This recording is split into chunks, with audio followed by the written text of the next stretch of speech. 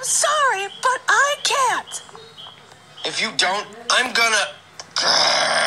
Daniel, stop! Look, Daniel, I'm sorry for yelling at you earlier, and I get that you're mad, but you cannot just hit me.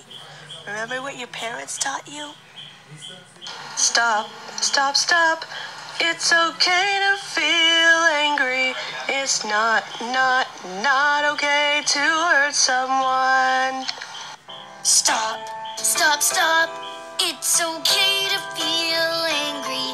It's not, not, not okay to hurt someone. I'm sorry for almost hurting you.